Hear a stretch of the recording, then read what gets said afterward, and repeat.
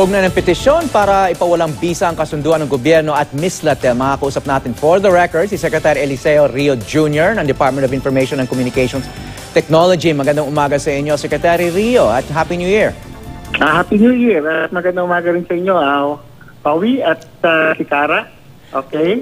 Yes, sir. Uh, let's start out with it, with this uh, petition po ano na inihain sa, sa Korte Suprema ng isang private lawyer. Gusto niyang ipawalang bisa ang kasunduan ng gobyerno sa Mislatel.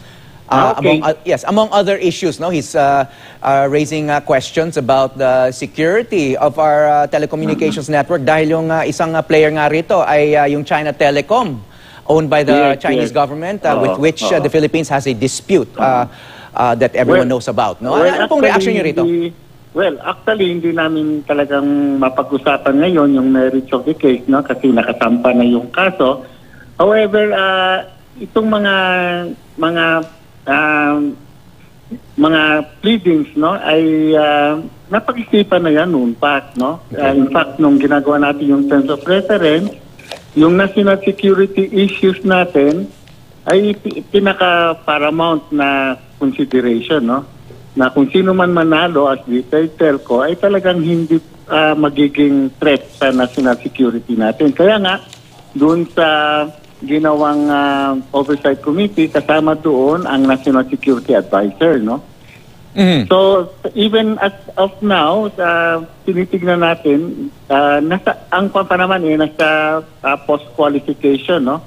At isa dun sa mga tinitignan natin ay kung yung kanilang uh, magiging procedure, in other words, yung Mislatel has to convince, kasama yan sa terms of reference, and it has to convince the government na yung network nila will not be uh, a threat no sa national security natin.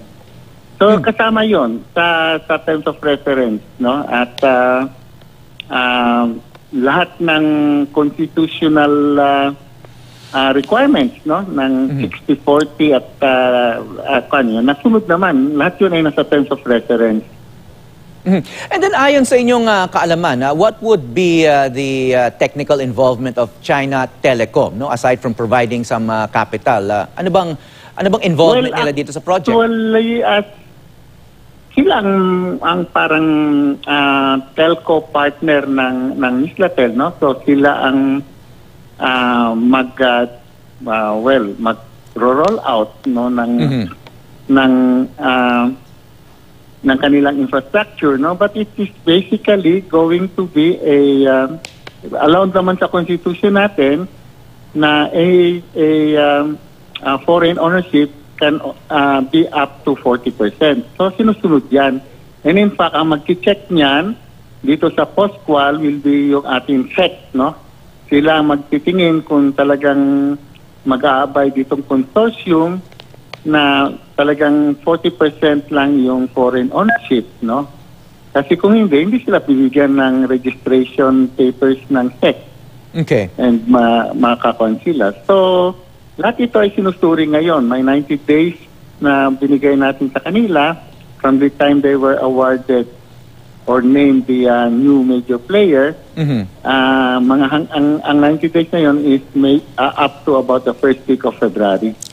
Okay, at balak daw ng ah, department nyo, ah, sir, ah, magtakda ng ah, mas mahigpit na cybersecurity conditions sa Miss Latelo. Ah, ano ba itong ah, cybersecurity Well, conditions? itong itong cybersecurity ay mandato ng ah, department namin, no? Ng GICT, no? Um, ngayon lang actually nagkaroon ng ang gobyerno natin, no? Dahil ba, ah, when GICT was created, ngayon lang nagkaroon ng parang ah, agency na talaga mag-handle ng cybersecurity natin, no? So, Mhm. yun ang aming kinapan. Hindi lang naman Miss Latel ang aming ah, talagang concern, kundi lahat, lahat. Ah, Okay. Pati Globe and Smart because ah, halos lahat ng equipment nila are also Chinese, no? And of course, like mga tinatawag natin na critical ah, ah, information infrastructure, no? Or CII, magkata ng bangko, ng ating power, ito ay sinusubaybayan natin na para hindi maging ah, target ng mga cyber attacks. No? Mhm. Okay, sir, nabanggit nyo rin yung ah, dalawa pang players sa telco industry, Smart and ah, Globe. No? Others have pointed out na yung strategic partner naman ng Globe ay ah, Singapore Telecom at yung PLDT naman ah, yung ah, kumpanya ng. Jap- ah, Japan na NTT. No? Ah, itong ah, ta- itong ah, partner naman ng foreign partner ng Miss Latel ah, consortium na China Telecom. Would you think there's more risk uh, in, in engaging uh, a company from China than, uh, than companies from Singapore and Japan, uh, with which uh, we have no uh, disputes.